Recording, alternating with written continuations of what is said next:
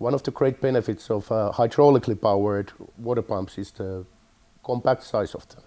I'd like to show you a couple of examples of that. This pump here on the edge of the edge of the table, the maximum water pressure is 90 bars, 1300 psi, and the maximum flow is 150 liters per minute, 40 gallons per minute. This pump weighs 11 kilos, meaning 24 pounds, and the water output power is 12.5 kilowatts. That means approximately 1 kilowatt per 2 pounds.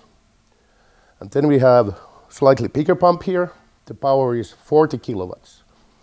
And uh, the weight of the pump is 36 kilos, 79 pounds. So this pump is also approximately 1 kilowatt per 2 pounds. The power to size ratio doesn't get really better than this. These pumps are made out of uh, better quality materials for, for more demanding situation. These pumps are made for subsea use, and uh, seawater is one of the most harsh and demanding places for any water pump. This water pump is made out of a special aluminum bronze alloy, which has really great mechanical and chemical resistance. And this pump is made out of stainless steel to endure all the all the sea, seawater effects and fulfill the subsea use requirements. Let's take a brief dive into the pump technology. Quite normally, hydraulically driven water pump is a triplex pump where you have an attached hydraulic motor. Then the hydraulic motor is powering the gear mechanisms and crankshaft inside the pump casing. And then with a piston rod, you finally get to the actual water piston that is pumping the water. But there is also different way to do that.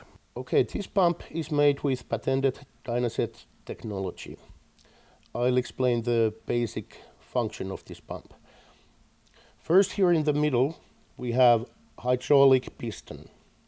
And the hydraulic piston moves inside the pump back and forth. Directly to the hydraulic piston we have secondary pistons which are pumping the, actually the water. So this system replaces all the gears and crankshafts and, and all of that, what's normally in, in triplex pump. So let's take the situation where this piston assembly is moving to your right. First, the hydraulic pressure is directed on this side of the piston, and the hydraulic power pushes the piston assembly to your right, which forces the water out from, from here in the end to the pressure channel through the water valves.